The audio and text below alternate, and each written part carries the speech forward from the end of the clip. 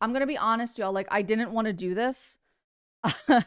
I didn't want to do this subject. Uh, I've been asked about it for a really long time, but I didn't want to do it because this was honestly something I was never actually into um in the new age. Like for the buffet of new age and self-help that I was constantly feeding from, the Enneagram was actually surprisingly never on my plate.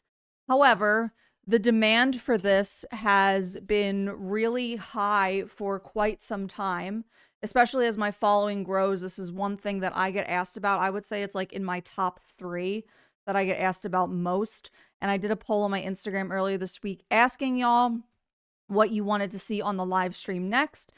And the response was overwhelmingly on the subject.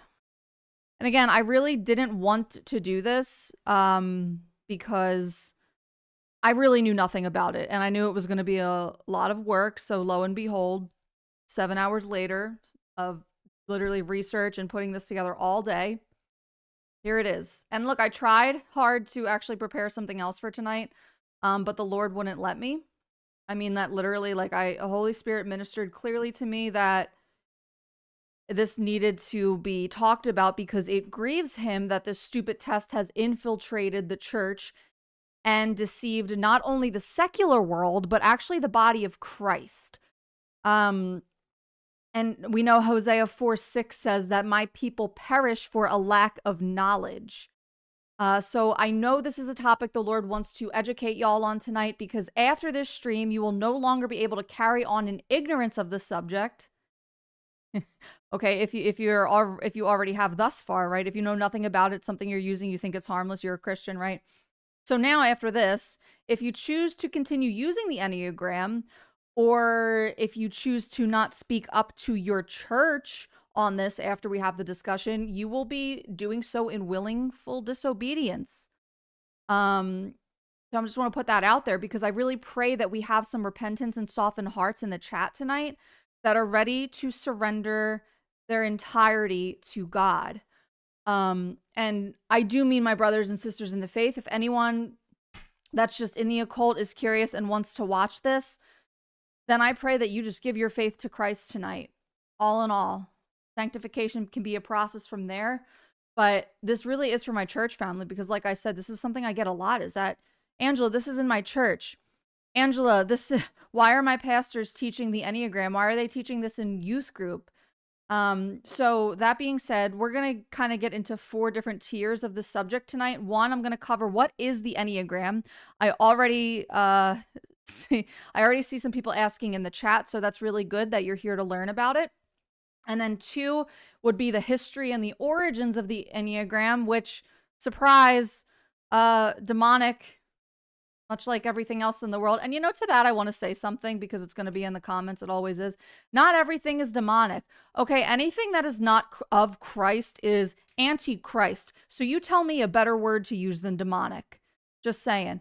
Three, how did it infiltrate the Christian church and why is it so popular? And four, identity in Christ. That's the part I'm looking forward to most of this entire thing because we all know the Enneagram is about identity, correct? So, y'all, I have to say, it took me like all but 30 seconds of researching this topic to see that it's of the occult. Like, literally 30 seconds. The first time I sat down to start looking into it earlier this week when I saw y'all were voting on it, 30 seconds. I knew it was of the occult. I just don't know why your local pastor can't do that before he teaches it to his congregation. I don't know. I digress. Um, again, please subscribe, like the video, and if you would consider a monthly partnership with Heaven and Healing, we're entirely crowd-funded.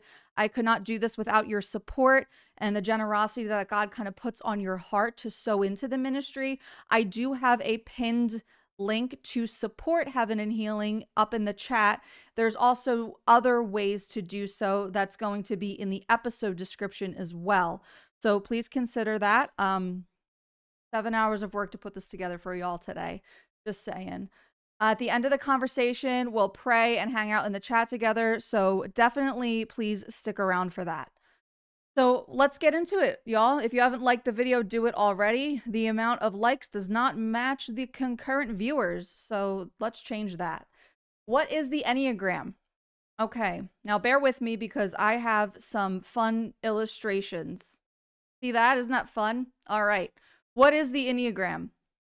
So, on the surface of the research, as you begin looking into the Enneagram, it all seems quite innocuous and even beneficial, right? Because it presents as means to overall understand yourself better and thus become better. The proverbial self help journey. The intents and purposes of it is, again, on the surface, all about self awareness and self discovery. So, this definition is actually from WebMD. I wanted to get kind of like a descriptor on what exactly the Enneagram is in layman's terms because the more I dug into it, um, the more I realized how seriously layered, thorough, and in depth it is. Honestly, like it's so extra, y'all. I'm not gonna lie. Um, I can see why this is a rabbit hole that people just kind of plunge into head first. I saw the word any uh any obsession, any obsession when I was doing my research. So people get any obsessed with the Enneagram. I love a good pun. Um, so the more I dug into it, the more I realized how layered it is. I can see why it's a rabbit hole that people just go right into and can never escape from.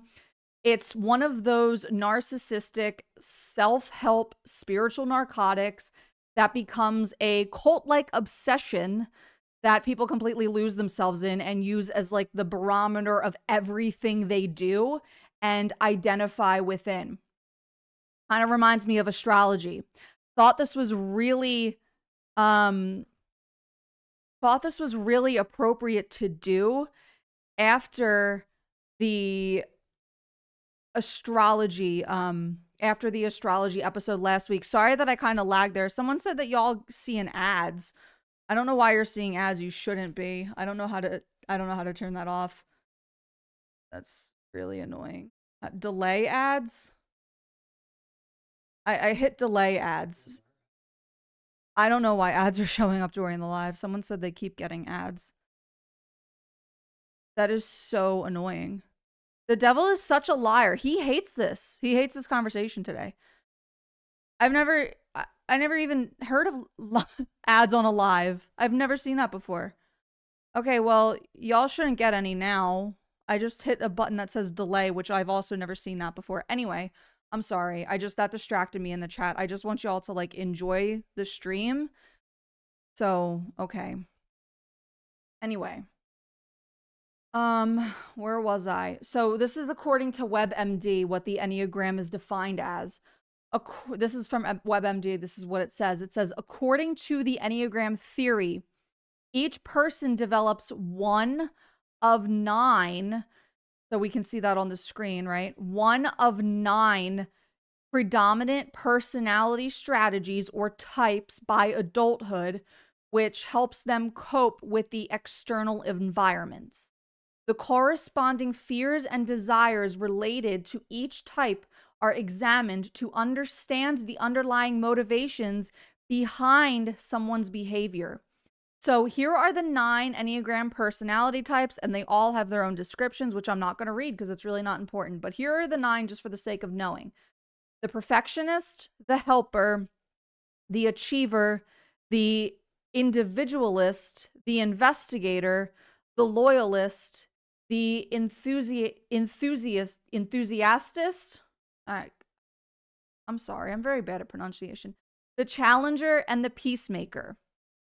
And now this this okay is from the Enneagram Institution Institute itself, the actual website Enneagram Institute, which is again why I'm saying I don't know why pastors can't just look this up, but there's a lot of stuff um surrounding the info of this that's based from the Enneagram Institute. I thought where a better place to get it from, right? So okay. I'm sorry. Uh, if you can't tell, I'm new to all the streaming stuff. I hope those lines aren't there. Okay, so the Enneagram is a three by three arrangement of nine personality types. in three centers, as you can see on the screen, right? Um, there are three types in the instinctive center, three in the feeling center, and three in the thinking center. As shown here, each center consists of three personality types that have in common the assets and liabilities of that center. For example, personality type 4 has unique strengths and liabilities involving its feelings, which is why it's in the feeling center. Likewise, the 8's assess, assets and liabilities involve its relationship to its instinctual drives, which is why it is in the instinctive center, and so forth for all personality types. And for those of you that are watching on the replay right now or listening rather, it may be honestly better for you to come back during a time where you can watch it on YouTube because I'm putting images on the screen for the sake of visualizations. Okay. Um so the inclusion of again, this is continued from the Enneagram Institute. The inclusion of each type in its center is not arbitrary. Each type results from a particular relationship with a cluster of issues that characterize that center. Most simply, these issues revolve around a powerful, largely unconscious emotional response to the loss of contact with the core of the self. Loss of contact with the core of the self. Hmm. In the instinctive center, the emotion is anger or rage. In the feeling center, the emotion is shame. And in the thinking center, it is fear. Of course, all nine types contain all three of these emotions, but in each center, the personalities of the types are particularly affected by that center's emotional theme. All right, so we see how that went from the surface level layman terms that I was going for to complicated very quickly. Um, I'm not going to go deeper than that because, like I said, it's not important. I don't really want to teach y'all on it. This isn't like a teaching on how to know the Enneagram. And I don't want to like bring more attention to the identity crisis that this so clearly perpetuates um, or risk you, you being turned on to it or being curious, honestly. Because the point of the stream isn't to show you what it can do for you on your self discovery journey. The point is to elaborate on why the Enneagram should be forsaken altogether by diving into its origins roots, ties to the occult, and most importantly, to set your sights back on Christ, encouraging you to be who He says you should be. That is the key here, okay?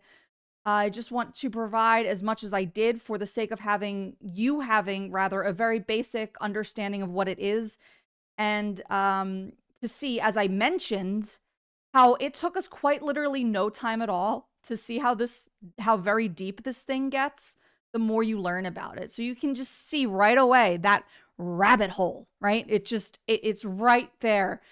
The second someone gets into this thing straight down straight down. So i've heard from a lot of followers that this is like the christian zodiac and i totally see what y'all mean by that. Um because there are just layers and layers and layers to this Enneagram thing that's like an infinite array of ways to eat the forbidden fruit of hidden knowledge, right? From the tree of good and evil. Uh, which is, of course, all manipulated to self empower, to flatter the self, to understand the self, and biggest red flag of all, to save the self, right? That's the thing with the Enneagram and any type of personality test, really. It's all about a self savior complex. Now, people are going to ask me, okay, so are all personality tests bad? I have a question for you. How do you how do you reconcile the verse all things are permissible but not beneficial? How do you reconcile a personality test to dying to self? We'll get more on that later, but I just want to kind of lay the groundwork for that now. You know, because that's what this is all about, right? This this this gnostic self-discovery, the Enneagram, any personality test really.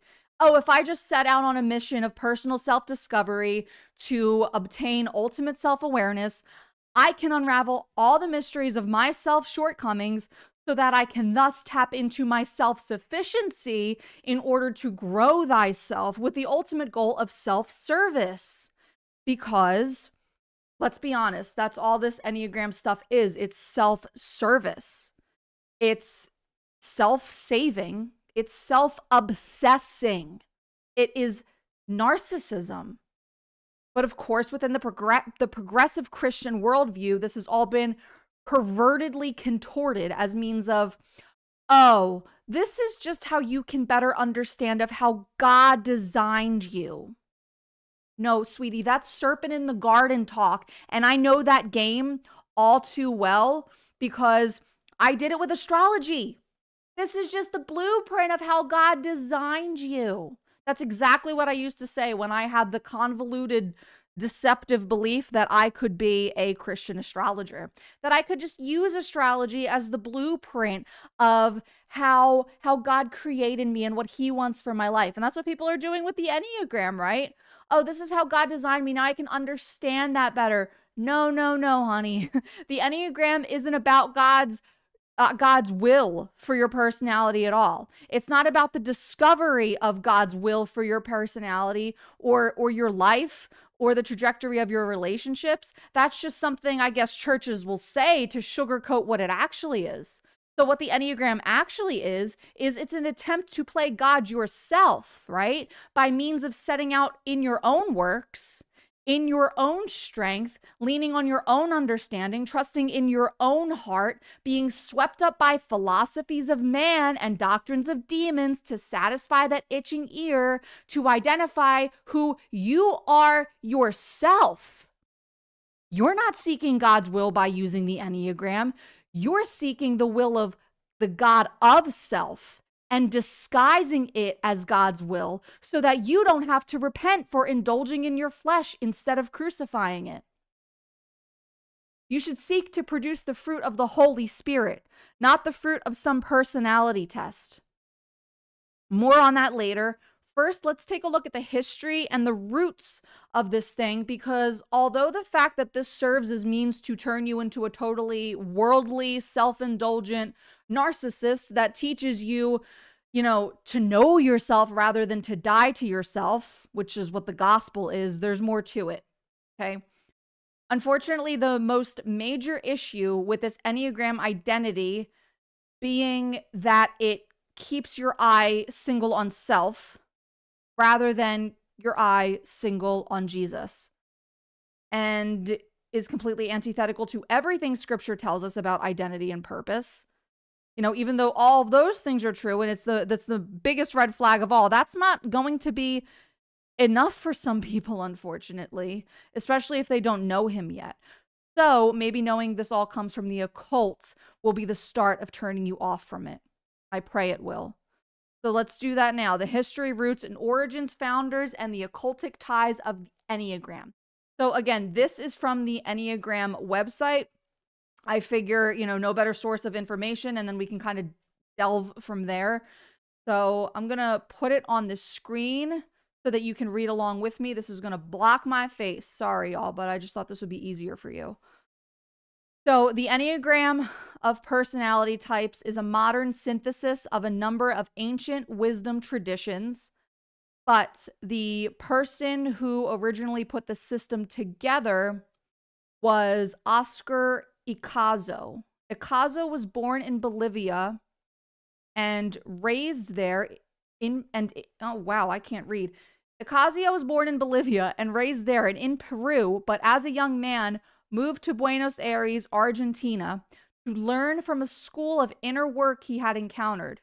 Therefore, after he journeyed in Asia gathering other knowledge before returning to South America to begin putting together a systemic approach to all that he had learned. After many years of developing his ideas, he created the Arica School as a vehicle for transmitting the knowledge that he had received, teaching in Chile in the late 1960s and early 70s before moving to the United States, where he resided until his passing in 2020. In 1970, when Ichazo was still living in South America, a group of Americans, including noted psychologists and writers Claudio Naranjo and John Lilly, those, that name's going to be important later, went to Arica, Chile to study with Ichazo and to experience firsthand the methods for attaining self realization, self realization that he had developed.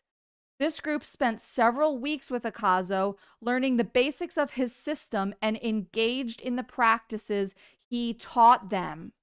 The Arica school, like any serious system of inner work, inner work is a vast, interwoven, and sometimes complex body of teachings on psychology, cosmology, metaphysics, spirituality, and so forth, combined with various practices to bring about transformations of human consciousness. Now, okay, I found it interesting that across all my research, there seems to be this inconsistency with the starting point of the Enneagram as far as which one of the dudes was actually the one to create it. Some say it was adapted from Ichazo and refined by another man named um named George Gurdjieff. I think I said that right. So, and that includes this primary source, by the way. Remember, I told you I wanted to get it from a primary source, the actual Enneagram Institute. However, there are other sources online that gave cr- all of the credence of the Enneagram to Gurdjieff and say that it was then refined by Ichazo. So there seems to be a historical discrepancy there. But the more sources I looked into, I do believe the Institute itself and there were other ones that deemed much more credible than other things that I was reading from like blogs. You know what I mean? So I am choosing to go the route with Ichazo, right? Ichazo seems to be the founder of it all. Now, I'm willing to be proven wrong, of course. Like I said, this is my first time really studying the subject of all the things in my New Age buffet. This was never on my plate. But my point is either way you slice it, whoever whichever one of the dudes it was, it doesn't matter why? Oh, because both of them were occultists. The end. Regardless of which one started it and which one refined it, who learned from who, whatever, they were both occultists. So now, I just want to give that little disclaimer. Reading on from the Enneagram Institute, it says from there that among the highlights for many of the participants was a system of teachings based on the ancient symbol of the Enneagram. The Enneagram symbol has roots and antiquity and can be traced back at least as far as the works of Pythagoras II. The symbol was introduced to, or I'm sorry, reintroduced. See, that's what it says here. Reintroduced to the modern world by George Gurdjieff, the founder of a highly influential inner work school, a new age school. Gurdjieff taught the symbol primarily through a series of sacred dances or movements designed to give the participant a direct, felt sense of the meaning of the symbol and the processes it represents. Now, I want to pause there for just a moment on kind of like a sidebar.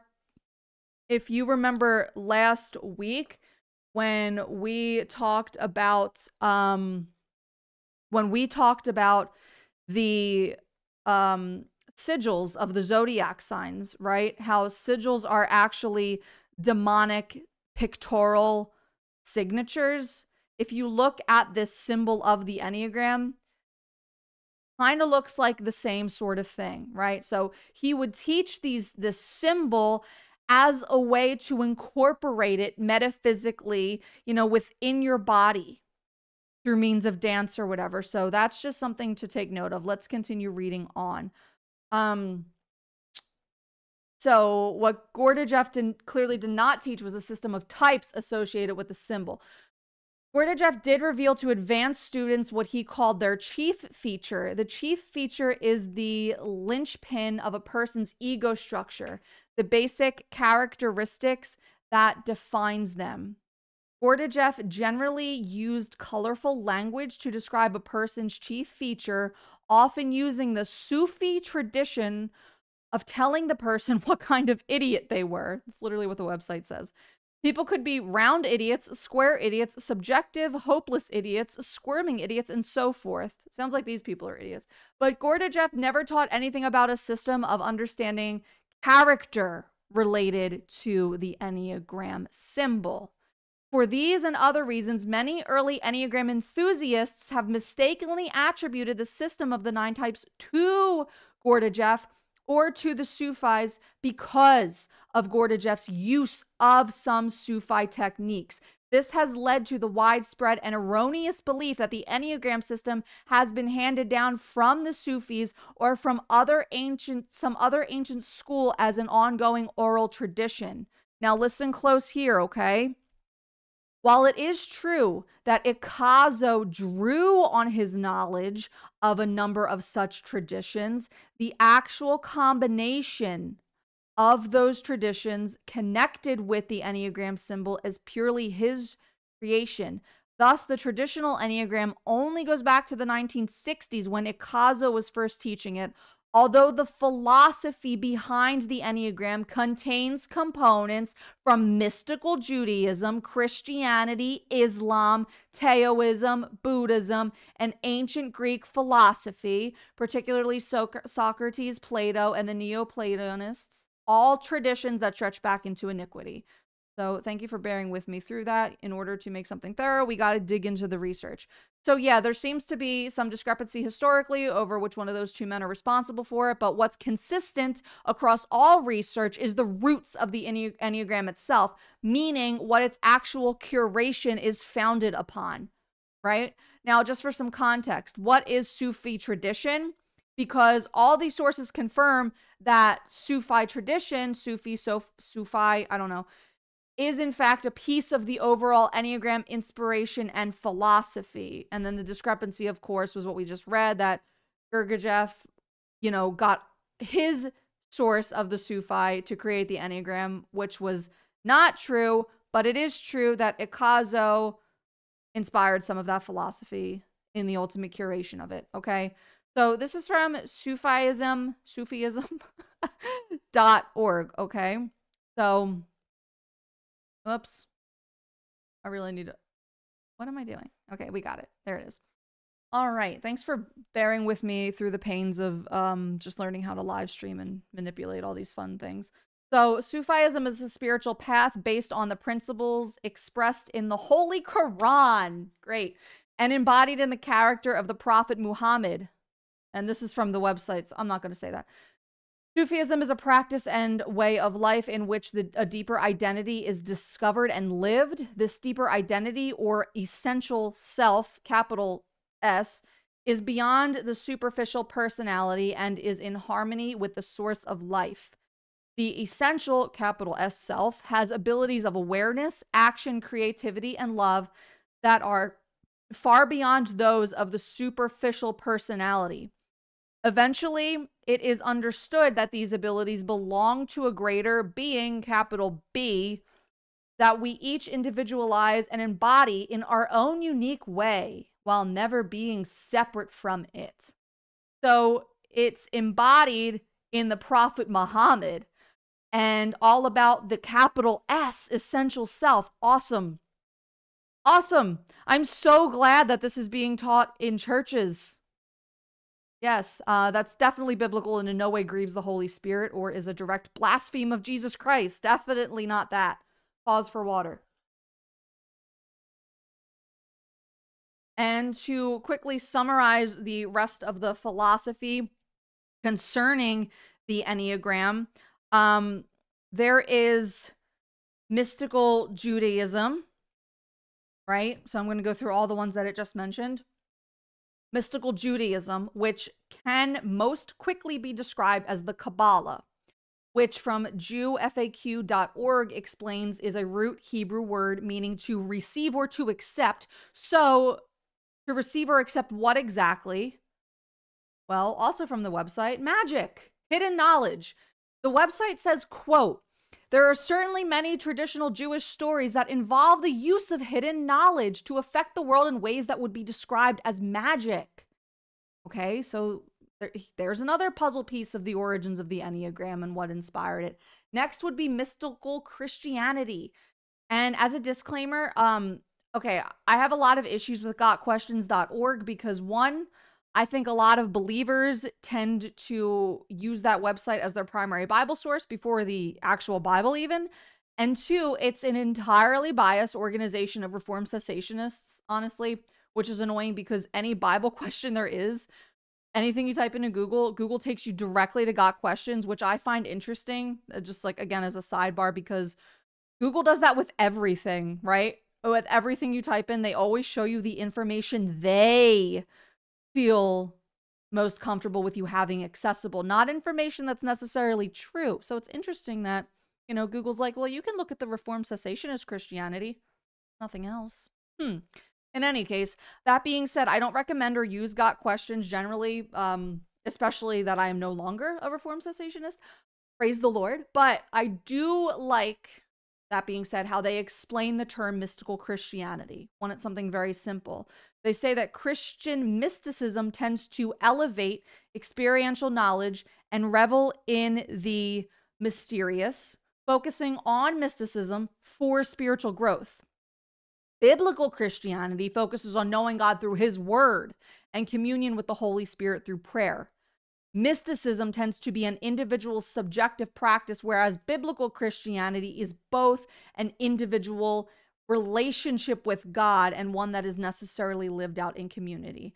So basically, Christian mysticism is having a relationship with God for means of spiritual growth rather than means of repentance, reconciliation, faith, and service. So that is not to say that um, you do not grow spiritually when you have an authentic relationship with the one true living God.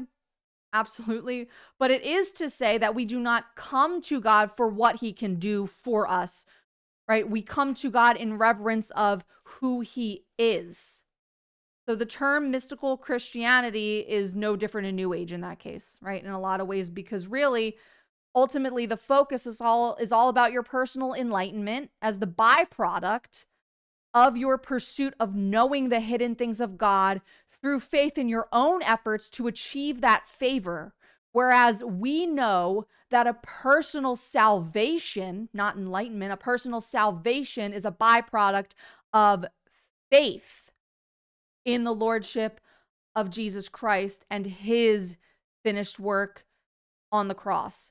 Now, we definitely serve a supernatural God, but we do not serve God because he is supernatural. And this idea of uh, mystical Christianity is exactly what the Enneagram serves to do. As I mentioned toward the beginning, it's an attempt to gain the hidden knowledge of God, to understand the ins and outs of his quote design of your personality so that you can grow spiritually, emotionally, psych- psychologically, and so forth. It has you, the Enneagram has you pursue what you want him to show you rather than simply pursuing him.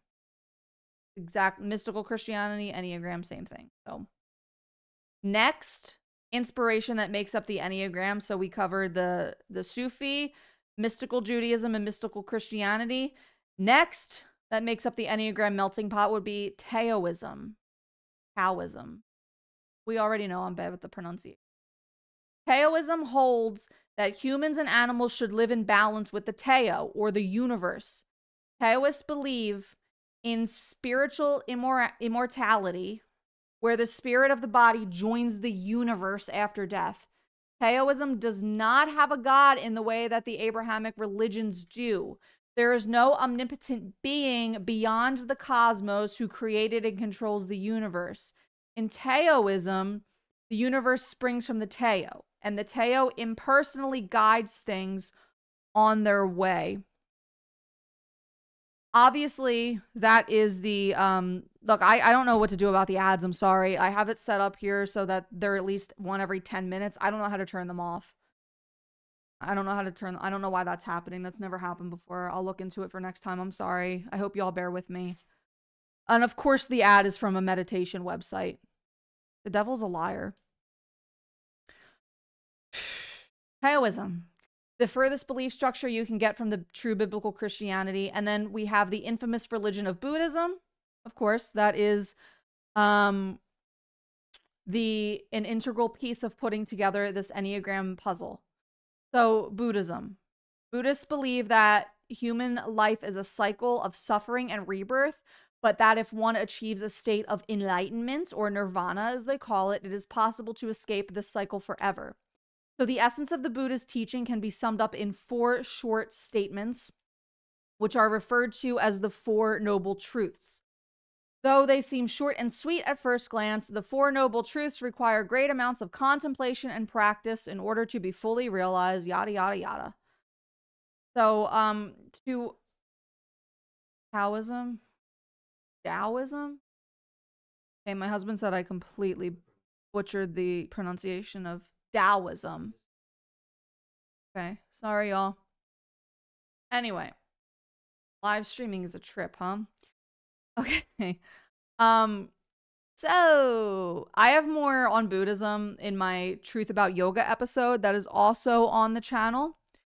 Um maybe in the future I need to do an episode on all major world religions. If that's something you'd be interested in, put a one in the chat. But um, to that note, it should also be mentioned that there are many, many, many, many, many gods within Buddhism, within that worldview, that are all integrated within the beliefs, structures, and practices of the religion. So, all of that right? All of that, the the Sufi, the uh, mystical Judaism, the mystical Christianity, the Taoism, and Buddhism. All of these components, according to the Enneagram Institute and further research, all of those different philosophies, religions, and beliefs, they make up the Enneagram all of these things that are intrinsically oppositional to real biblical Christianity, and yet the Enneagram seems to be most strikingly strikingly popular within the Christian sphere. Go figure. Um devil just wants to infiltrate the church. You know, the devil's not after the secular world because he already has it. The devil's after the church, for the record. What is even more disturbing to add on to the influence and inspiration of the Enneagram's origins is the means by which it actually came to fruition. Okay. Which brings us back to the Oscar Ichazo guy that we talked about before, as well as the other name I told y'all to remember, Claudio Naranjo, who Ichazo studied with. So, this thing, the Enneagram, was actually invented by automatic writing. So, if you don't know what automatic writing is, it's a form of spirit contact where you allow a spirit to write through you, which I used to do when I was in New Age. I thought my grandmom was writing through me. I thought my alien family, because I thought I was a Pleiadian starseed, was writing through me to journal and and download hidden information from the universe and etc., etc. Yikes. So when I say spirit contact through automatic writing, I am not talking about the Holy Spirit. Okay? This is essentially contacting a demon and allowing the demon to take over your hand and write through you. So, books like Conversations with God, which was a series that I loved in the New Age, by the way, because it's essentially supposed to be like a new age version of an updated Bible, as if God got it wrong the first time, you know, because that's totally in alignment with his character, right? Um, books written by the infamous occultist Aleister Crowley came from automatic writing. William Butler Yeats, like the 20th century famous poet, that surprised me, but he proudly, um, proudly admits it. And yeah, the Harry Potter series by J.K. Rowling. I know Christians love that one too. So, automatic writing. Yep, the entire series that we have on our bookshelves and that we play at movie night at the local church. So, automatic writing is it biblical? No, it's not. The Bible clearly states that any form of divination or spirit contact is an abomination. We see that many spots, but you know, Deuteronomy 18 um a chapter of scripture we talk about frequently on heaven and healing. Um someone in the chat just said they thought Conversations with God was a Christian book. I need to I saw that and Holy Spirit was like you need to mention something. Okay. If you have conversations with God, you need to burn that. That was written by demons. Okay? The entire context of that book is all about how there are things wrong in the Bible. Sin actually isn't real. You're kind of you're kind of one with God. You don't need to repent for anything. It's complete and utter blasphemy. It's written by demons. Maybe I'll do another episode on automatic writing as a sublet, right? We already said maybe world religions, maybe all about automatic writing. Anyway, it's an abomination. It's an abomination. Deuteronomy 18 makes that clear, as is many other parts of the Holy Bible do. And as I continually to enforce with basically every episode that I record of Heaven and Healing, right, is that there is absolutely nothing that comes out of the occult that can be given a Christian spin and turned into something that is good. What is my hair doing? Does anybody know? Does anybody have any clue? Um the Bible isn't wishy-washy on this, okay? There is nothing in the occult that can be given a Christian spin and turned into something good. Nothing. Not wishy-washy. This is essentially like walking into a Bible study and the leader saying, okay, today we're going to use a Ouija board so we can better understand ourselves and therefore acknowledge and honor God. Okay, if it came out of divination, mediums, or occult practices, it can never be Christian and you should run far from it. And that includes the Enneagram. Okay. And for the record, because I know someone in the comments will say that, for the people that want to con- contend and say, oh, well, how are those examples of people using spirit led automatic writing any different from Holy Spirit using the authors of the Bible to transcribe scripture? Okay, well, that's a simple answer. There's only one Holy Spirit, and the rest of them are unholy. Okay? Holy Spirit doesn't contradict himself because he's God. He's the same yesterday, today, and forever. And the unholy spirits are the ones that were channeled in order to invent the Enneagram. So, major difference. And that same Enneagram, okay, that same Enneagram that you are claiming has helped you find yourself, has helped you in your marriage, has helped you understand those around you, has helped you helped you quote serve God better. I promise you, y'all, that anything transpired by demons in automatic writing or in any other context has not helped you serve God better. But it's certainly possible that the Enneagram has helped you better serve yourself under the Second Corinthians 11 14 deception, where Satan masquerades as an angel of light. And so you think that you're better serving God when the truth is you're just listening to demons that have given you a false identity that the enemy of your soul wants you to claim and pursue rather than claim and pursue your true identity in Jesus Christ. Okay? So people, you know, may say, well, okay, I hear you, all these things, but why is it accurate? Why is the Enneagram accurate? Okay, well, because Satan's not an idiot. I mean, he's a loser, but he's he's not an idiot.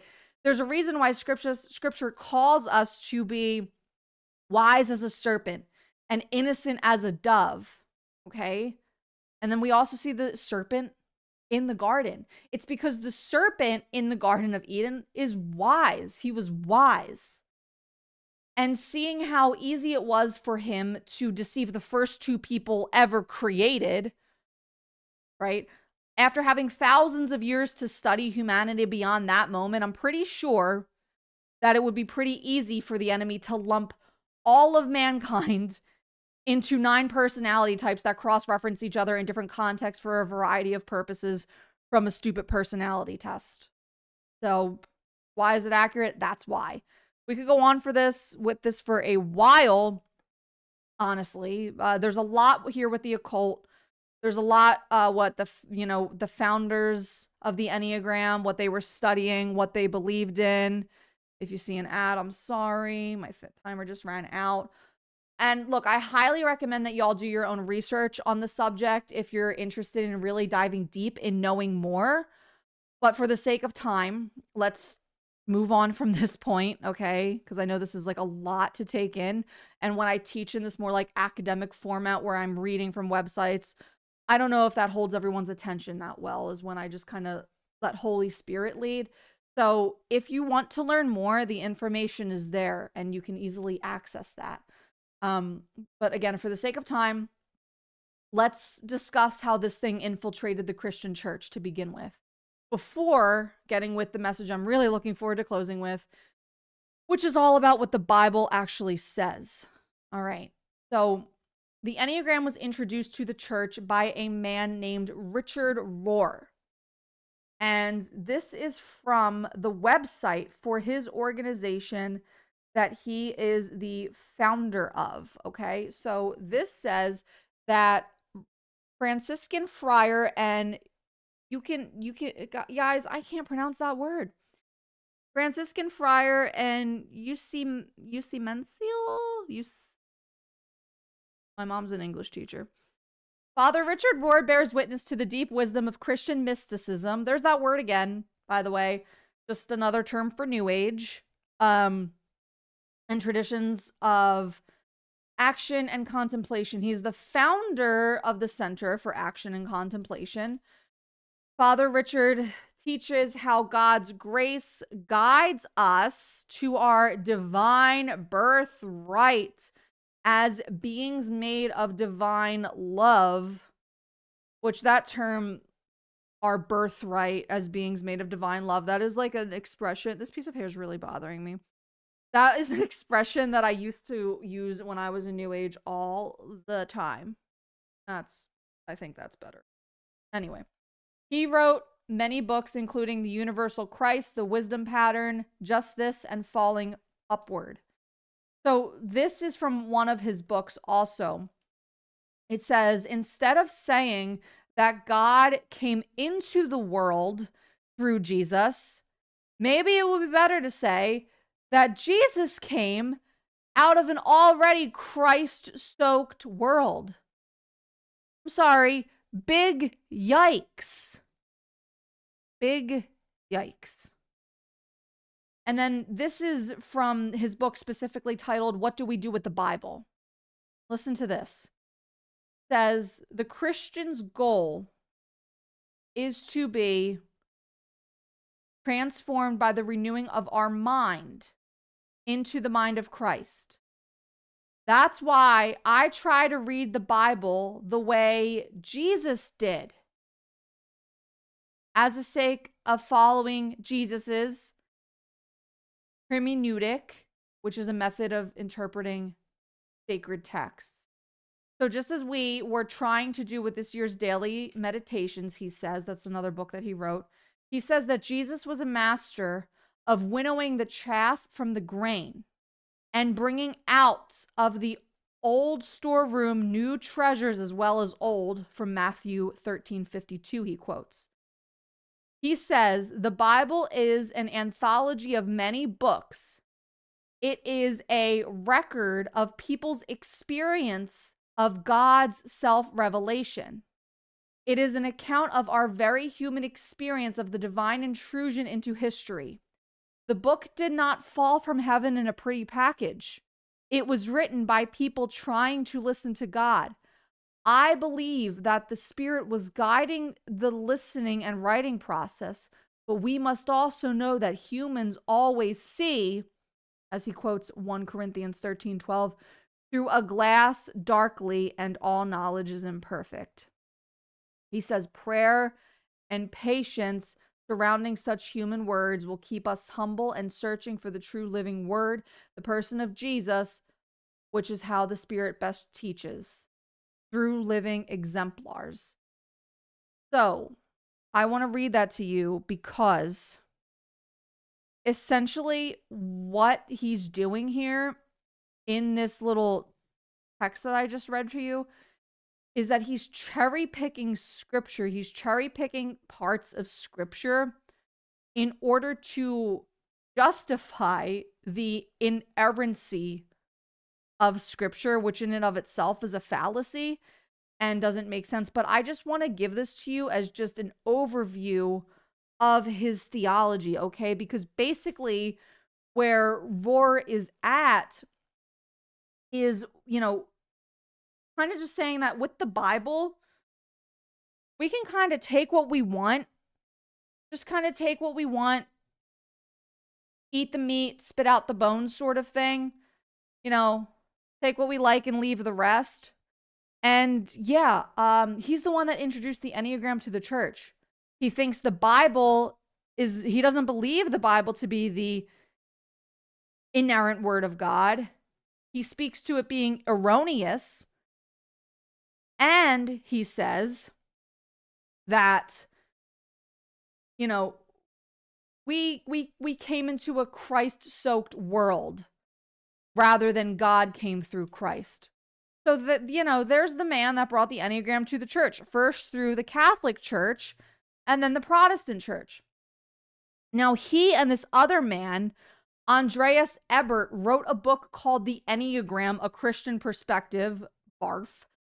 Um to which Rohr says the goal of the two authors is to quote offer the Enneagram as a very ancient Christian tool for the discernment of spirits, the struggle with our capital sin, our false self, and the encounter with our true self in God. So weird. I've never heard any of those terms in scripture before. Um Now, he says all of that while his coworker acknowledges that the influence of the Enneagram comes from religions that actually predate Christianity. I don't know if I misworded that when I was explaining what I said about that guy, just reading in the chat now. Um, I'm saying that it's a fallacy of him to use scripture to say that scripture is fallible, right? That which is what he was doing. That's what I meant. Obviously, scripture is um the inerrant word of God. I might have misspoke there. Um, so moving on. Um, Rohr and then his counterpart Ebert, they contradict one another here because um, one is saying that the Enneagram is an ancient Christian tool, and then the other is saying that it has nothing to do with Christianity itself. But they wrote a book on it, the Enneagram from a Christian perspective. So there's that. Not really the kind of consistency I want to be getting my information from. So now this is really gross. Okay, Rohr says uh, that, quote, I offer the Enneagram as another of the endlessly brandished swords of the Holy Spirit. He calls the Enneagram a sword of the Holy Spirit. He says the Enneagram, like the Spirit of truth itself, will always set you free, but first will make you miserable. I'm sorry, what? a couple things here. First is the notion that the Enneagram is one of the swords of the Holy Spirit. Now, there is of course the armor of God and one part of that is the sword of the Spirit, but Hebrews 4:12 says that the, the word of God is living and active, sharper than any two-edged sword, piercing to the division of soul and of spirit, of joints and of marrow, and discerning the thoughts and intentions of the heart, okay? So, unless Rohr is saying that the Enneagram equates to the Word of God, then it is not and cannot be another of the endlessly brandished swords of the Holy Spirit, as he says. Now, as if that's not concerning enough, the second concern would be Rohr's belief that the Enneagram will set you free.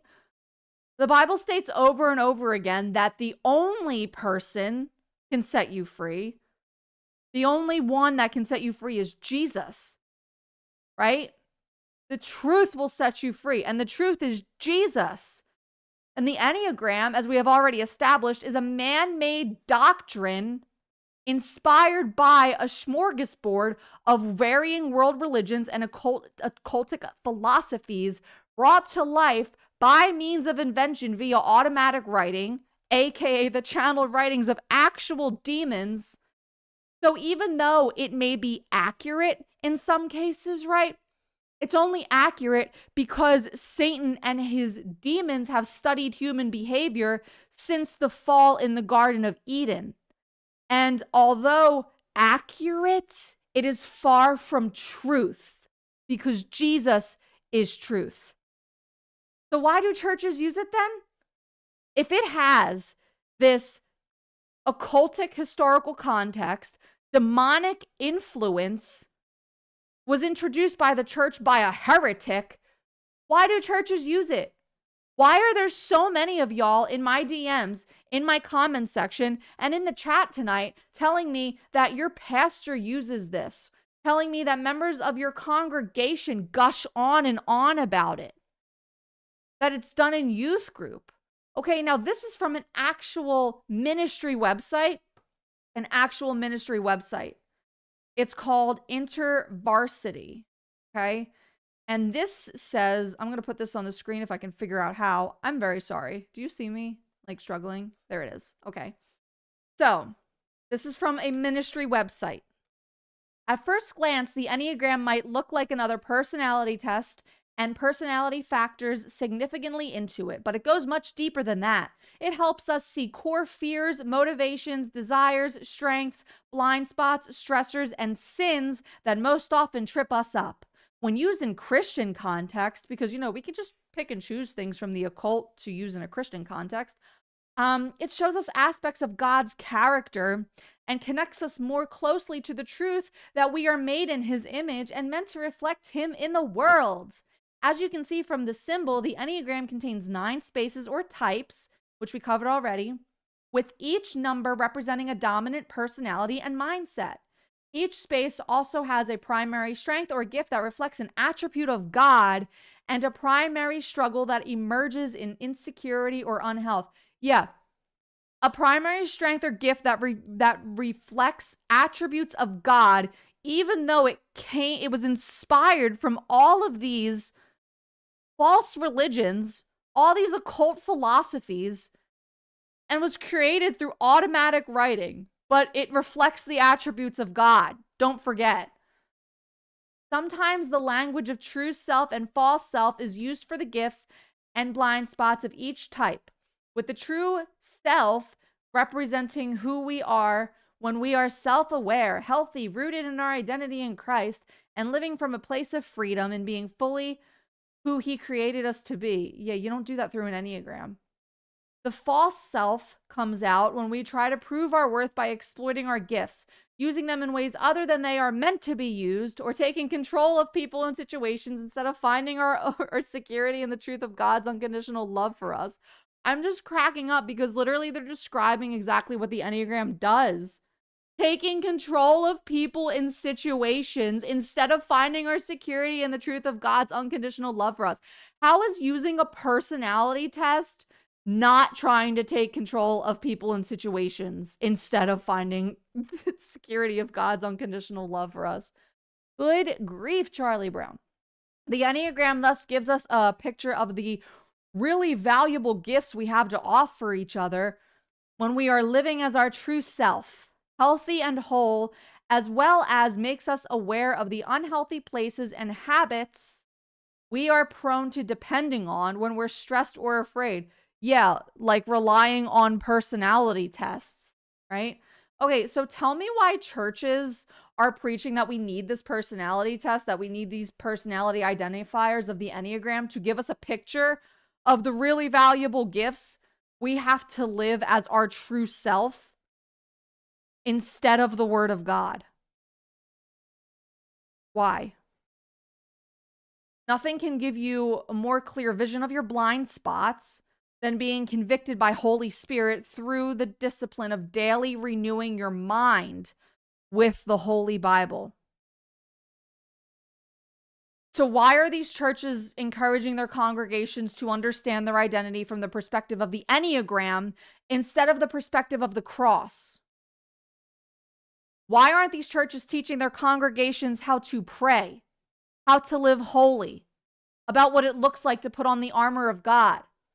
Why aren't they teaching their congregations how to cast out demons or lay hands on the sick? Why aren't they teaching their congregation what it means to renew your mind? Sounds like this dumb promotional Enneagram sponsorship within the church walls is a great way to alleviate lukewarm leadership from properly shepherding the flock. Just saying. And I say it because Jesus warns us that he will literally spit out, he will throw up the lukewarm church in Revelation 3.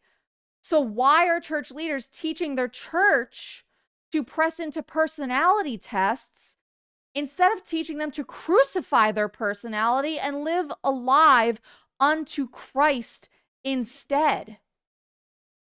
As the body of Christ, we should strive to look like him, not strive to look like who the world or what some test, some personality test called the Enneagram determines us to be.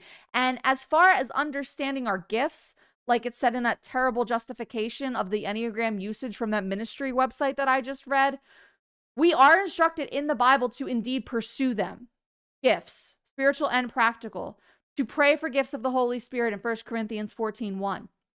And, you know, it continues in First Corinthians where where Paul writes, all these, the gifts that he outlines, are the work of one and the same spirit as he distributes them to each one, just as he determines. So, what's really important to highlight there is the reality that the spirit is the one who decides who gets what gifts, not us. Okay. And it's not up to us to determine that to determine what gifts we have or what gifts we could have or what or what gifts we may manifest with some counterfeit Christian demonically demonically inspired personality test. Yes, we are told to eagerly desire the gifts of the Spirit, but that context of Corinthians shows us that our desire for certain spiritual gifts originates with the Holy Spirit Himself because He gave us that desire. Yet we have a responsibility to ask the Spirit to fulfill his originally implanted desire, imparting to us his willed gifts. How? That's prayer, friends. That's prayer. That's faith. That's walking in the embodiment of faith, not by sight.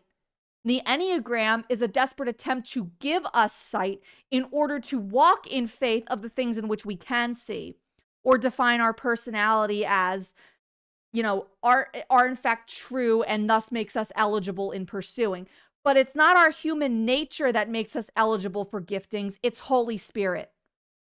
The enneagram shows you the pseudo reality of your alleged human nature and gives you the baseline in order to operate giftings in your interpersonal and spiritual life okay Whereas intimacy to Holy Spirit, walking in freedom of faith, living alive unto Christ, obeying his commands, walking in holiness, receiving his revelation, being in his word daily, in prayer, in praise, all of those things that actually reject narcissistic human nature and focus on him alone, that is the true place where the true godly giftings, practical or spiritual, will operate from because it will be effortless budding fruit that is produced as a result from abiding in the vine, Jesus. Which brings me seamlessly into my final and most favorite part here, which is that our identity is in Christ. That being said, I'm going to take a drink of water.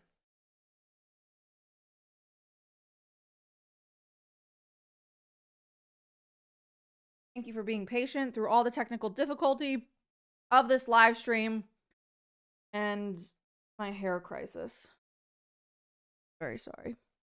The devil really, really had, um, ooh, today was rough. All right. Anyway, so now if all of what has already been discussed, um, isn't enough for you to revoke the Enneagram forever, then I'm really praying that the word of God will do that and, you know, just do what it does and will convict you during this last segment here because I wanted to close by breaking down some major issues with the Enneagram and combat all of the major issues, which are huge red flags, with the truth of what the Bible actually says. Okay. So, the first issue here, the biggest red flag aside from everything I just talked about, okay, I'm talking about the intents and purposes of this thing here, separating the occult and the roots and the curation and and the founders and the invention of automatic writing, all of the things aside. All of those things aside, okay? The issue with the Enneagram is that seeking our identity in the Enneagram is to seek our identity in means other than Jesus Christ alone. Hey, you're not a type 1, type 2, type 3, type 4, type 5 through 9. Here's the truth. Nowhere in the Bible does it say you are defined by a personality type. As Christians, our identities are not found in our personalities, but in who God says that we are. So while you may believe that you can't speak boldly, for instance, because you're a certain Enneagram number, God can give you the power through His Holy Spirit to speak boldly on His behalf. So don't speak that over yourself. Believe God. Look at His disciples, right? Peter doubted Jesus and, quite frankly, seemed terrified of governmental powers. Yet when he became a believer, he boldly stood up in court and declared with full confidence who Jesus was despite the cost.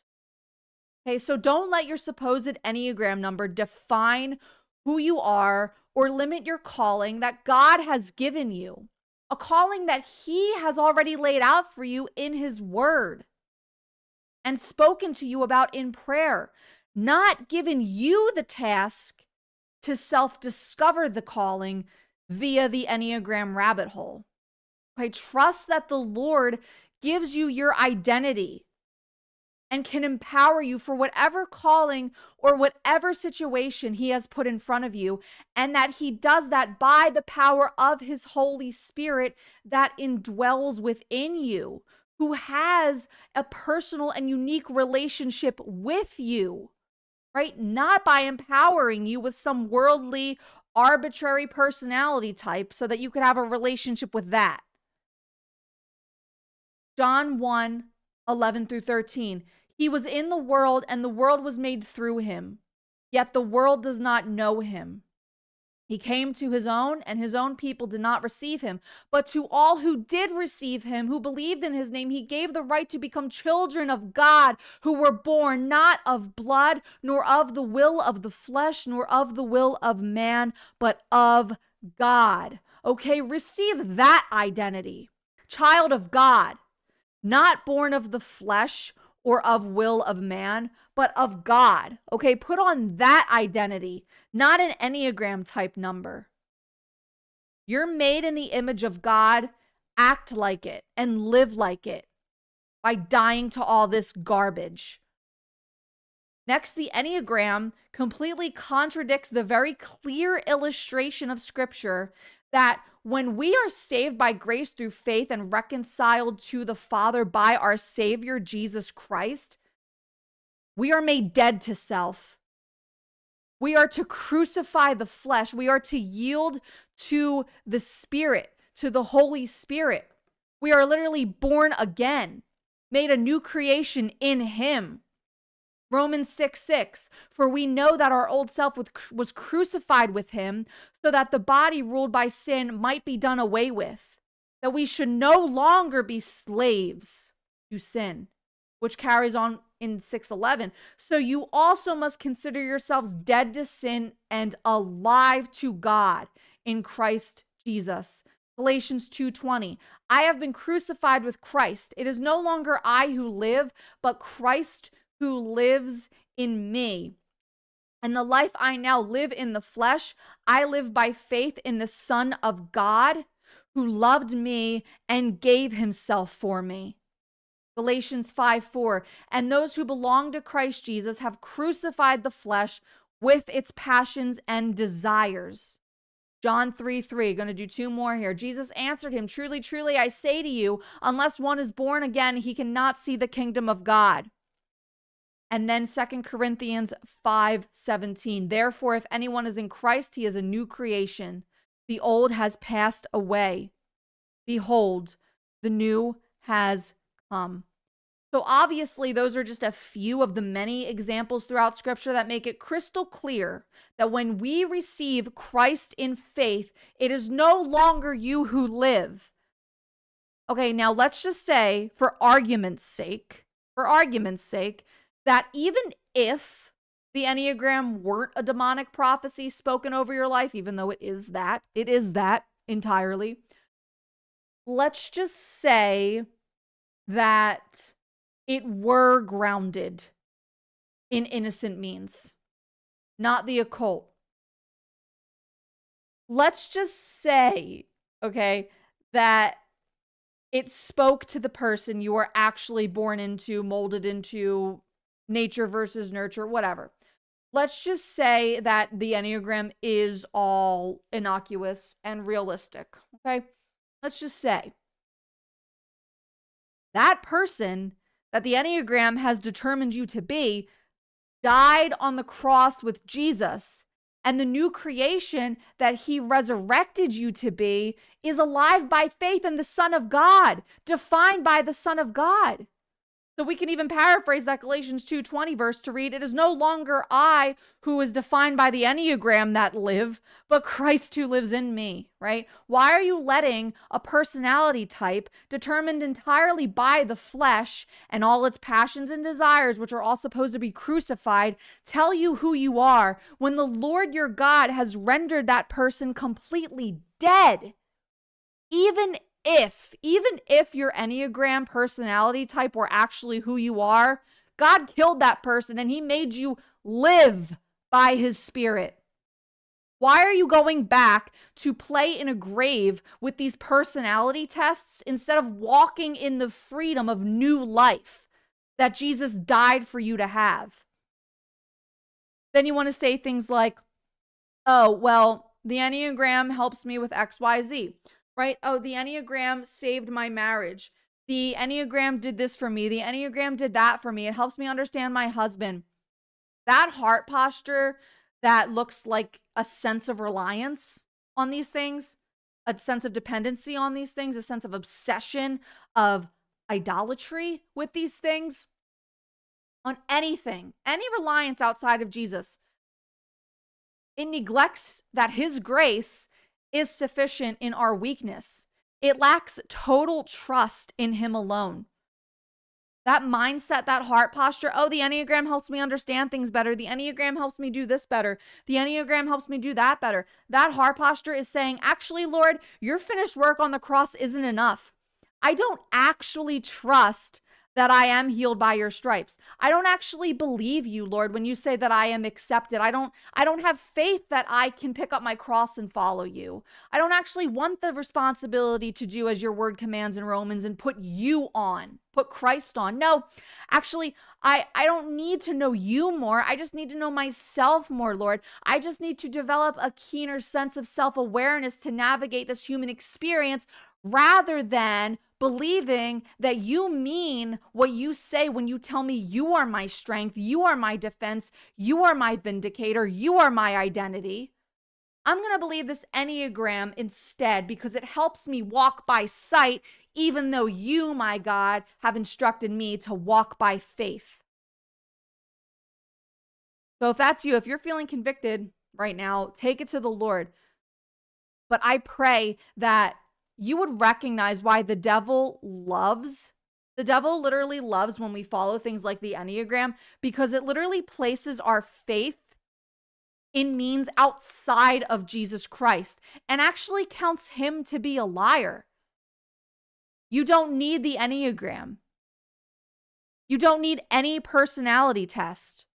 Why do you even want it? Okay. I mean, honestly, ask yourself, why do you want it? Does it really give glory to God or does it does it give glory to you? Does it indulge Holy Spirit or does it indulge your flesh? But can I just no? No. Die to yourself. Die to yourself, church family. Live for him. You know that verse, brothers and sisters? You know that verse? Resist the devil and he will flee. Resist the devil and he will flee.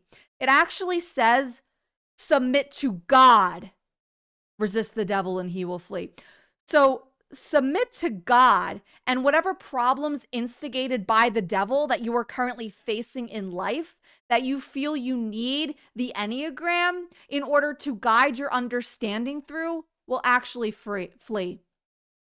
Because the truth is, all you ever needed was to submit to God all along.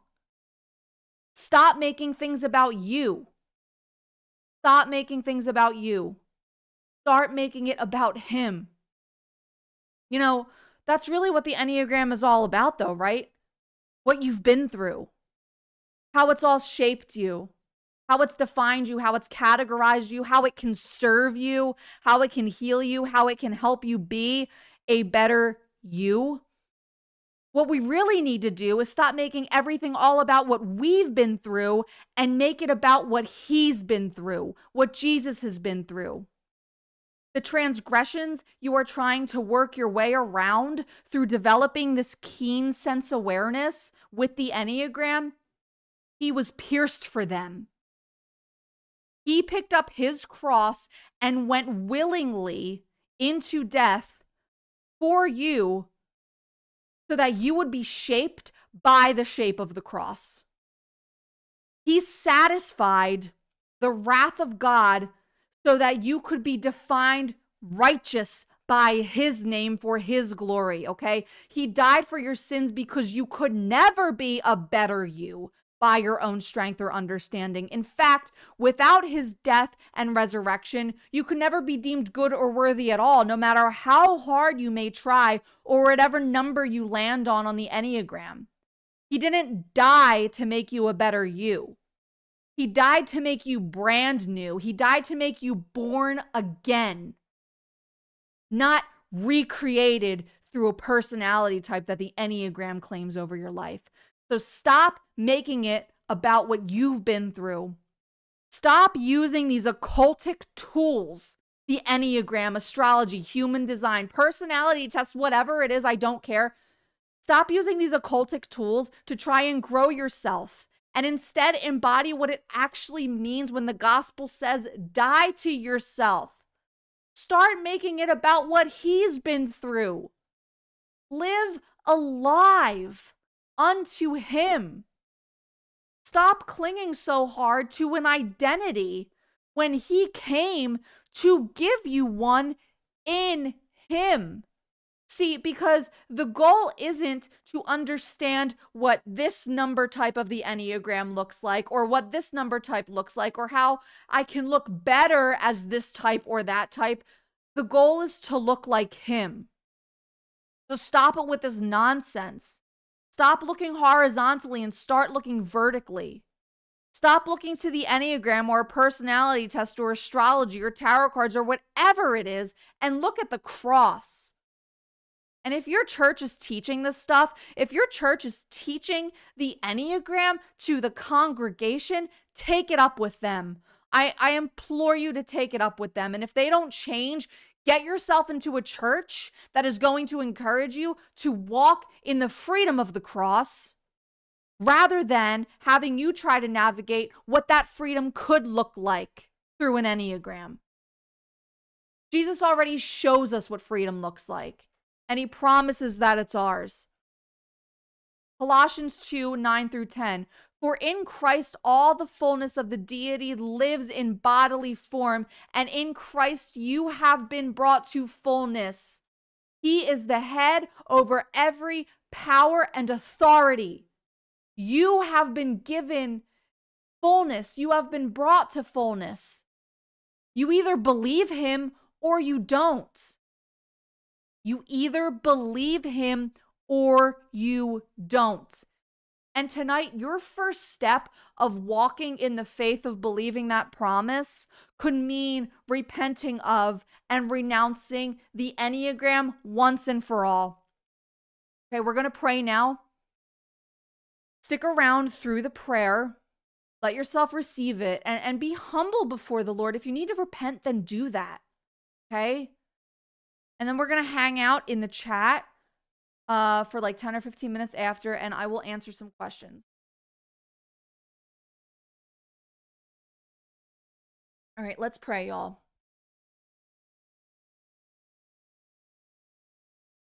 Father God, I just want to thank you for this opportunity tonight that you have really pressed onto my heart to share and expose the Enneagram with your people, even amidst the enemy's wiles and devices and schemes and attacks we made it happen. We kind of walked through the storm anyway, Lord. So thank you for that, Father. Now, if you need to repent for the Enneagram, maybe you've stopped practicing it and you really haven't taken it to the Lord and said you were sorry, or or maybe you're still practicing it now and you know that it's time, you've listened to this episode, you felt the conviction of Holy Spirit that indwells within you, and you know, or maybe you want to give your life to Christ tonight, I just implore you to just tell him, Lord, Jesus, I, I know you're my Lord and Savior, and I want to lay my life down at the foot of the cross. Just let my old self die let my sins die with you, Father God. I just give it all to you. I give it all to you. Make me a new creation. You are Lord. I believe in my heart that you are Lord. I'm confessing with my mouth that you are Lord. I have faith that I am saved by your grace. And I have faith that what you say about me as your adopted child saved by grace is true. And Father, just put your hands up to him. Father, that identity is enough. The identity that you have given me as your child, made in your image, resurrected in new life as a new creation, alive unto you in your fullness in your righteousness, that is enough, Lord. I lay down this Enneagram at your feet. I lay down the astrology at your feet. I lay down the personality tests at your feet. I lay down every identity I've ever spoken or received over myself that has been antithetical to what your word has called me to be. I renounce all of it. I repent for all of it. I give it all up. I give it to you, Lord, because your yoke is easy and your burden is light, Lord. And I thank you that all these things are true. Lord, I thank you that there is no identity like the identity in the name of Jesus. Lord, I thank you that you died for me so that I could be alive unto you. Father, I just pray in your heavenly name now. I pray for all these people in the chat, all these people listening in the replay or watching in the replay that have this infiltrating their churches. Lord, I pray that even now you would just fill them with the boldness that you gave Peter to preach the gospel in front of thousands, that you would give them that same confidence by your Holy Spirit to tell their church leaders that this is wrong, to send them this episode, or to go out and do their own research and compile something to show their elders. Whatever it is, Lord, I pray that you would equip them. And I thank you that you've equipped them with the boldness to do that, Lord. And I pray that they would follow through on that conviction and that you would use that conviction to plant seeds in the leadership of these these congregations that is preaching this occultic nonsense.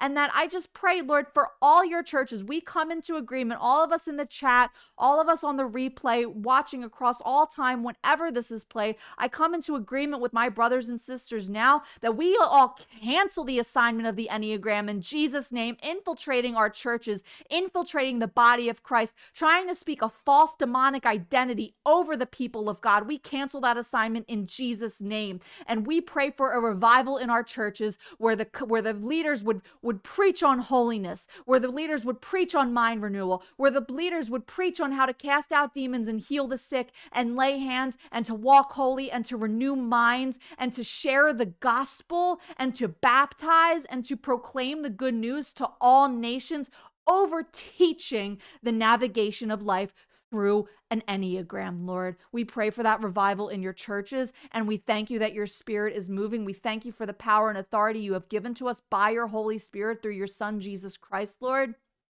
We pray all these things in Jesus' mighty name. Amen.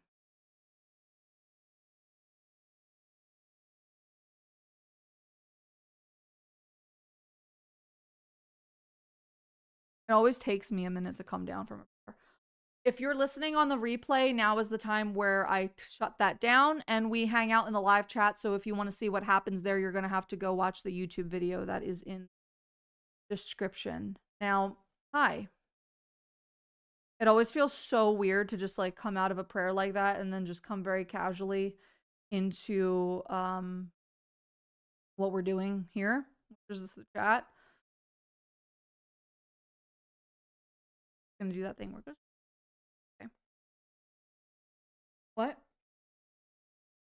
Does it still work?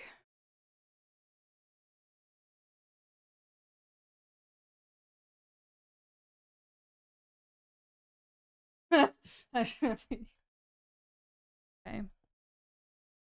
Is this camera too?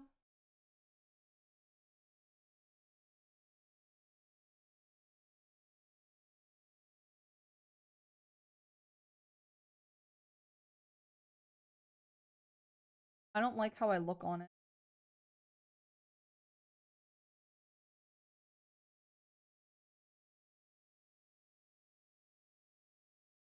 That's good. Okay, that one's fine. Hi guys. All right. Um what questions do we have? What would we like to talk about? Mike, can you bring in the dancing lobsters?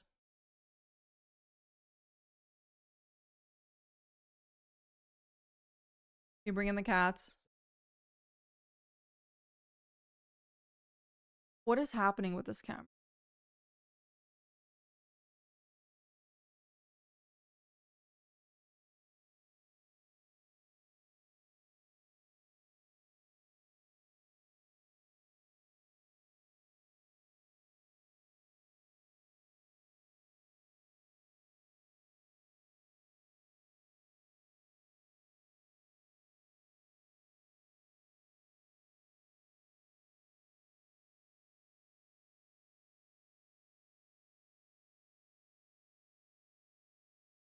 I'm trying to make the chat bigger so I can see it. This this camera like won't focus. Angela, why are you the boss applesauce? I I say bring in the dancing lobsters. Maybe like some of you were too young for that. That's from the Amanda show. Amanda Bynes needs. Uh. Okay, so okay, I'm focused now. What questions do you guys have? What would you like to discuss?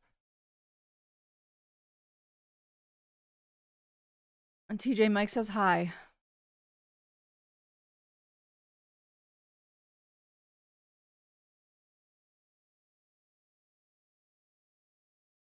Will you do a teaching on music soon? Um, so I have um the music industry is satanic episode. It's like one of my most popular episodes. I recorded that in my old studio at home back in Pennsylvania. So you can go check that out. But yeah, I, maybe we could do something on that soon. It might be time. Oh my, do I look okay? Do I look weird? I'm feeling very insecure about my appearance tonight. The devil is a liar. The God's word says I am more precious than rubies.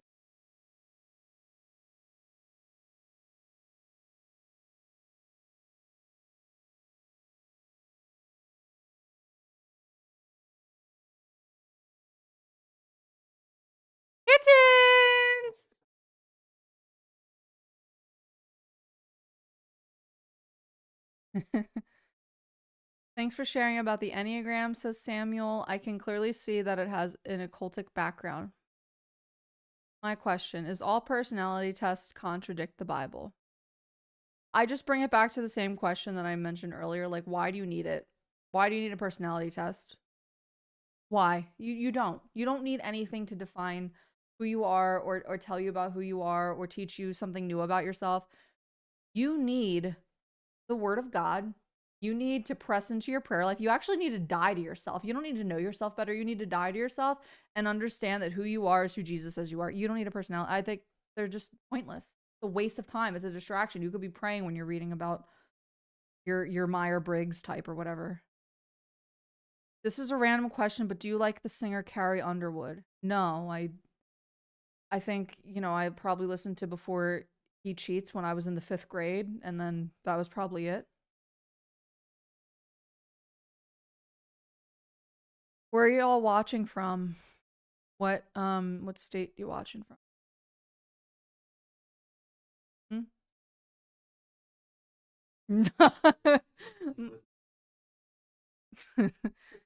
Please talk more about um Buddhism, where they get their sources to make a claim to say Buddha is similar to Jesus. Well, Buddha's dead in the grave and Jesus is alive at the right hand of the Father, so they aren't similar in any way, shape, or form. Um, I I do talk a bit about Buddhism in my episode called "The Truth About Yoga," Would you be willing to do an episode discuss discuss false prophets or prophetess? So many people are doing that already. I don't need to be another voice in that echo chamber. Excuse me. Also, my my I really have no interest in making like call out videos. That's not my bag. I want to talk about Jesus and expose the demonic of the new age, really. So how's the baby? I love when people ask about the baby. She's great. She's awesome. She kicks so much. She's like a future Olympic gold medalist soccer player, I think. Um Mike says she's going to be a wrestler, but that's just not true. um yeah, she's amazing. She's great. My belly is so like round now. It seems like it grew so much in just a week's time. Would you react to Sam and Colby one week at the Conjuring House? I don't know who that is. They think they speak to good spirits. I just did a debate that'll be out Friday, by the way, on Billy Howell's channel. It's called Premier Unbelievable on YouTube. I did it with Ray Comfort, which was awesome. He's going to be on Heaven and Healing. And then another guy whose name I don't remember. But the guy whose name I don't remember, it was Matt something. You'll see it in you'll see it in the interview when the recording's posted. We were all to debate Halloween. And the guy that was pro Halloween naturally believes in communicating with the dead as a Christian. So um, I think me and Ray really succeeded in in the um in the debate of that episode as to why Christians should not participate in Halloween. Do you play any instruments? No, I am instrumentally illiter- illiterate, musically illiterate. I can't sing. Um I can't play anything. I worship loudly, but I can't do it well. But I know God likes it when I sing to him, so I do. Me and Mike actually pray over Selah that she'll be a singer. I figure it's kind of fit. I don't know. I just have like a feeling she'll be able to worship um in a way that like people want to hear her. Um because I don't know, I just do. And if you think about psalms, a lot of the psalms are are are are hymns, right? There's psalms to be sung, and so I think about how that's where her name is from. So who knows? Maybe, maybe say it's someone's watching from Pittsburgh.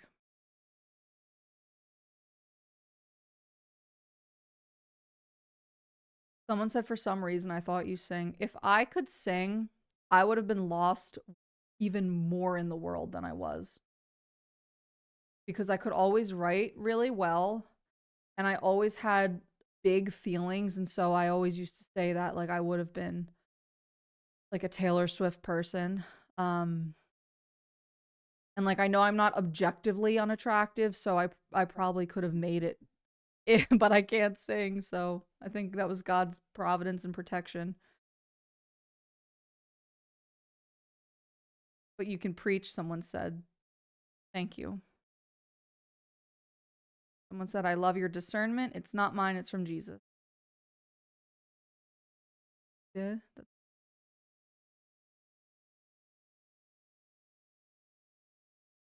Someone said, could you make could you make an episode um about false teaching of the Catholic Church, like praying to Mary or worshiping saints? Why y'all trying to have me make the Catholics mad? They're already so mad at me. They yell at me all the time. Uh, this might be a loaded question. How does the how does the devil travel through frequencies of music? I do. I, again, I have this episode. Music industry is satanic. Mike, can you find that and link it? I'm gonna have my husband link it in the chat so y'all can like save it for later because I, I do talk about that in that episode.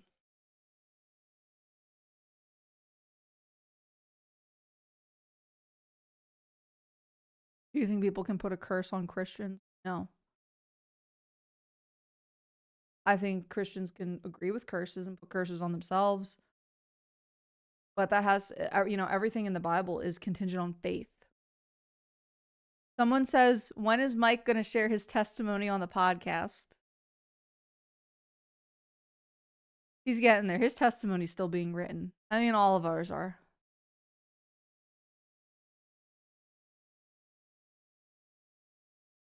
I was actually very impatient before about him getting his testimony on the podcast, but uh, the Lord has really kind of just shown me it's really all in his timing and he's sanctifying Mike in new ways uh, that I, I believe the Lord is preparing him to share.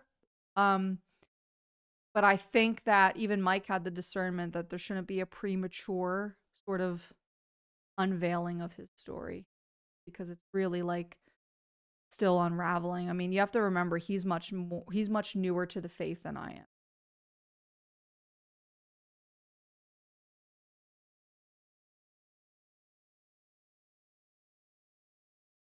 I saw Ray Comfort a Ray Comfort reason a woman to Christ on the beach in California. Yeah, he's really cool. Um he really liked me and he gave me his number and he sent me gospel tracks that will, God willing, be here by Halloween that I can hand out on Halloween night. And he agreed to come on Heaven and Healing. It will not be a live stream. It will be added to the Selah funds because I'm I'm I'm recording some pre-recorded episodes, maybe like 6 or 8 that I can release weekly on top of another project that Heaven and Healing will be coming out with. Look out for an announcement tomorrow, by the way, on Instagram tomorrow or Friday.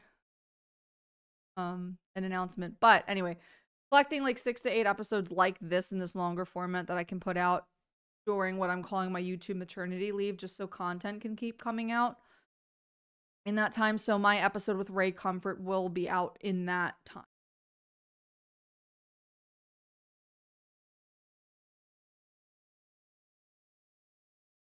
Are you prophetic or have visions or dreams?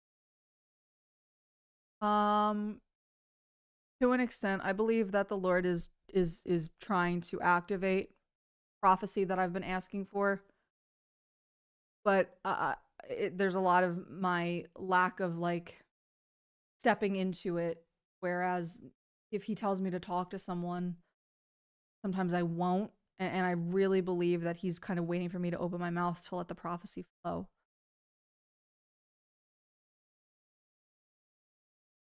That's walking by faith, right? Christians listen to Josh Groban. That's like very specific. I don't know anything. Josh Groban. He's the guy that sings Christmas music, right? Like the oh, like that guy. Thoughts about people that claim they've died and visited heaven or saw Jesus? Why would we discount them? I think it's so messed up that people be out here saying that testimonies aren't valid because like like my friend Nayla for instance who's not in the chat tonight her first encounter with Jesus was a physical encounter and someone else very well known within the former new age to Christian community told her that was a demon. She literally came to Christ and was told by this person that she saw a demon. We should not discount people's experiences like that. I don't know where we got this idea that Jesus can't be experienced, but last I checked, he's the same yesterday, today, forever. And he's alive. And the Bible is full of experiences and supernatural encounters with the God and the Spirit of God and the living God. So I I don't see why not. And yeah, the stories of people that have gone to hell if that if that's if the fruit of a testimony like that results in someone spreading the gospel, who am I to like who am I to say that that's demonic or that that was illegitimate? I don't think anyone is.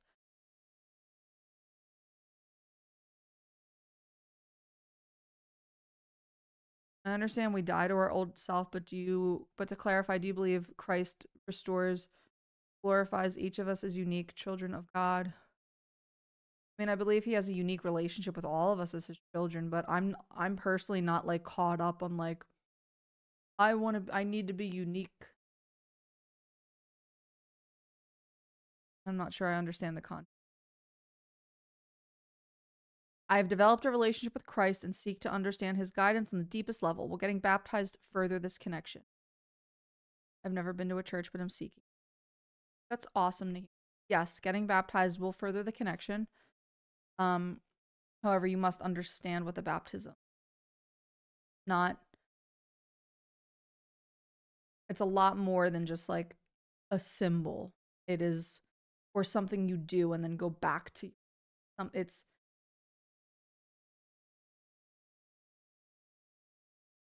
so a baptism is really like that old self gets buried. I think that baptism doesn't save you, but I do think it's necessary to kind of like put the old man in the grave. Otherwise, I feel like we kind of walk around with the old man, like our old corpse on our back. Whereas when we get baptized, it goes down and come up without that corpse, right? Also, you should be prayed. Someone should pray the Holy Spirit over you after your baptism. My husband asked me Wawa or pizza. You only have one for the rest of your life. Wawa has pizza now.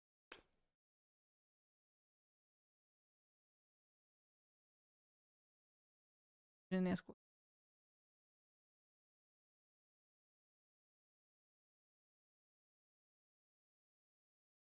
What would you say to a Christian who feels there's nothing wrong with the Enneagram and that it feels that it's not against Christ? That I just wasted an hour and a half, I guess.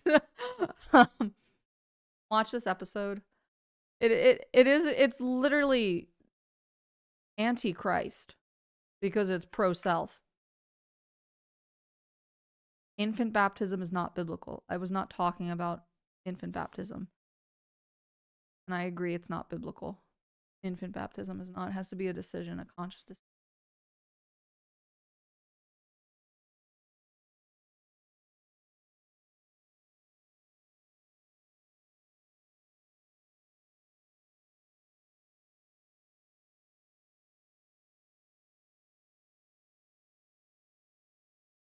Megan, can you show me any scripture to um validate your belief that we're all made?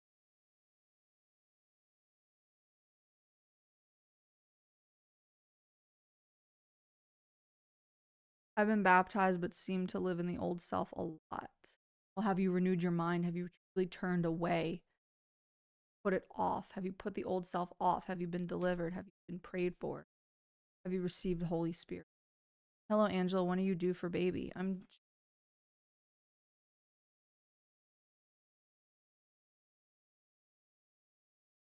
We can't wait.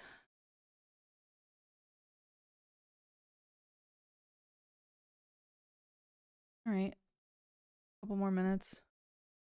Come say hi. Here.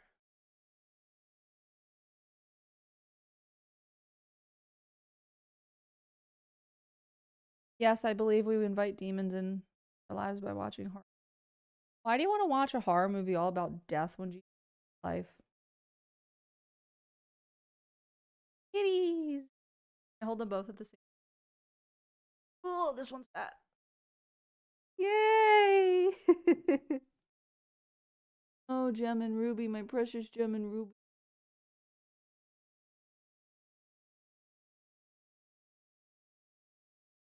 We call Gem Chunka. Chunka.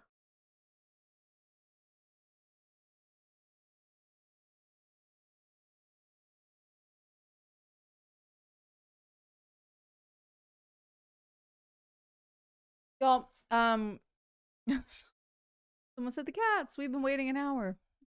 Um, your audio keeps muting and then coming back. Is that happening for anyone else? I have not had that complaint so far.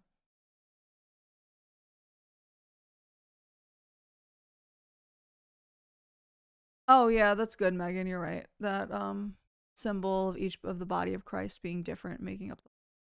You're right. That's good. I see what you mean now.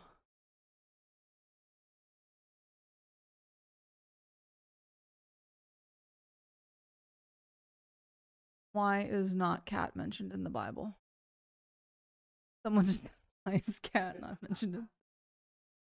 Uh Someone else said that they've I've been getting muted this whole time. That's fun. Someone else said hearing you just fine. Yeah, someone else just said the audio is going in and out. Was it doing that during the entire episode? No, I guess y'all would have mentioned that.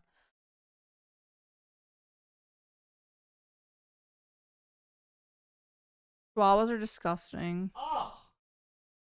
My husband loves chihuahuas. Um, did Ruby unplug something, Mike? Someone said it was cutting in and out for me too. Awesome. Oh, having a home studio is so much fun. Oh, this she said it started a minute ago. Um, I was gonna say something, but all the audio cutouts distracted me heavily.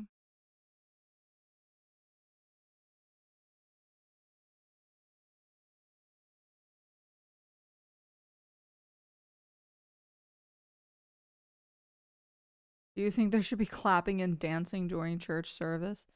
Says David danced with all his might. Why why should we not? Do you know how on fire I was for sin? Why why are we not allowed to dance? And clap and sing and praise the Lord.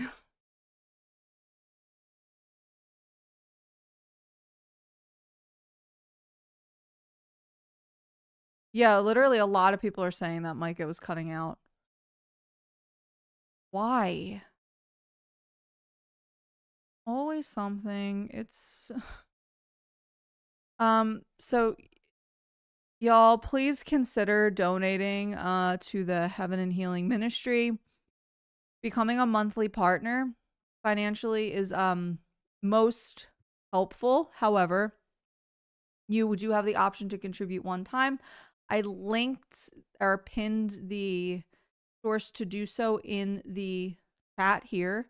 However, there are more ways to do it in the description of this episode.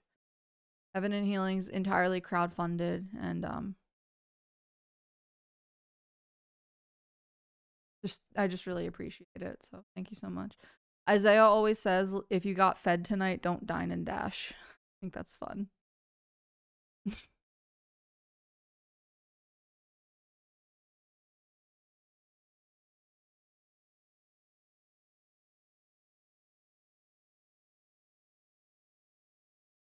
Someone is saying the gate. My husband.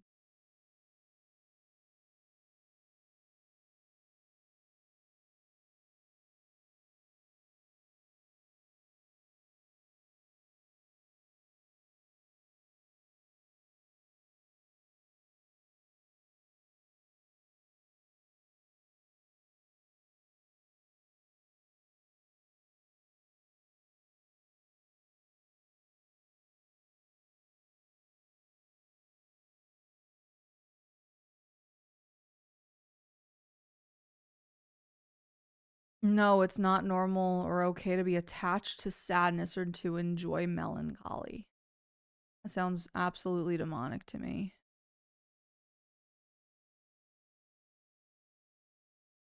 Do you like Lord of the Ring movies? Never have.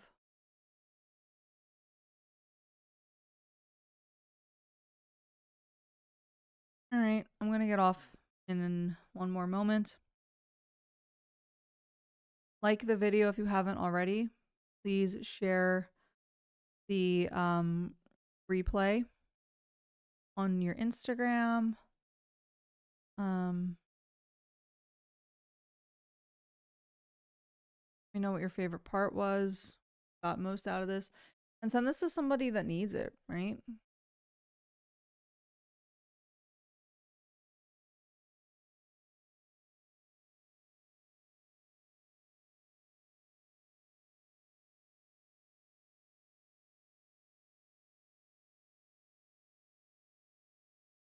Currently happening right now. Apparently, while we were streaming, a guy in Maine shot and bunch and killed a bunch of people. Lord, we pray that you would just be near to all those victims and victims' families tonight. Draw close to the brokenhearted, like your word says that you would bind up their broken hearts. That no weapon formed against those people will prosper. You would just take down the enemy and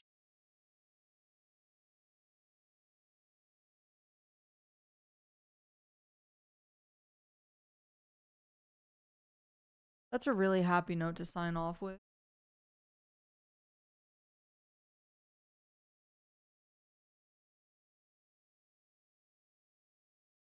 Yeah, I did go to Domino Revival yesterday as well. As the premiere, I'm glad you mentioned that. Good news, Domino Revival will be in theaters again. Did Mike say November 13th? November 13th. So I think you can go to Fathom Events website and I don't know if you can buy tickets now, but that's where it is listed. I go live every Wednesday at 8 p.m. Central Time.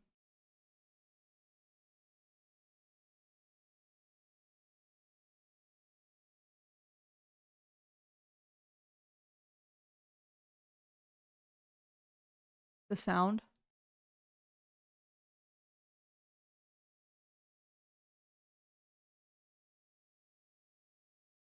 All right. Yeah, some people are like, "Oh, this isn't in the Bible. What about the the word Bible's not in the Bible?" All right. Uh love y'all. Thanks so much for watching tonight. Again, please consider donating, becoming a monthly partner with the Heaven and Healing Ministry. Really helps. There are ways to support in the show notes. And uh, comment pinned. Two more things here. Yes, definitely doing a video on marijuana. Absolutely. And then, do you ever have guests on your podcast? Yes. I really am praying to have a guest next week. Not sure who yet, but I I need um a break from like 7-hour work days like I had today preparing for episodes, so likely going to have a guest on next week. All right, thank you so much. Please pray for me, pray for the ministry. Pray for my husband. Pray for our family, our cats, and our baby. Hope you all have a wonderful rest of your evening. Get into your word. If you have not already, make sure you pray to the Lord before bed tonight. And remember that his mercies are new every morning.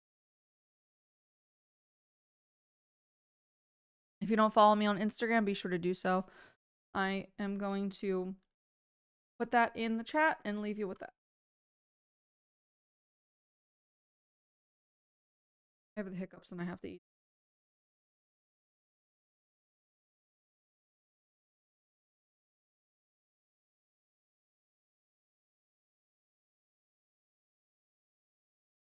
Y'all, it was fun. Let me know what else you want to see on Heaven and Healing. Send me some messages on Instagram. Leave some comments in the video once the replay's posted. Love y'all. Good night. God bless y'all.